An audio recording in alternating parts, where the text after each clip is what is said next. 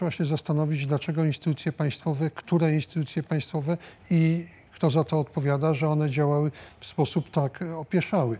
Niewątpliwie jedynymi winnymi nie powinni być ci, których już odwołał Mateusz Morawiecki, zapewne słusznie, czyli generalny inspektor ochrony środowiska oraz prezes y, Wód Polskich.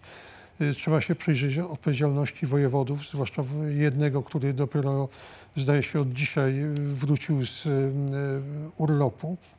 No ale trzeba się też przyjrzeć nadzorowi politycznemu, czyli temu, jak funkcjonowali poszczególni ministrowie czy wiceministrowie nadzorujący wody polskie czy główną, Główny Inspektorat Ochrony Środowiska.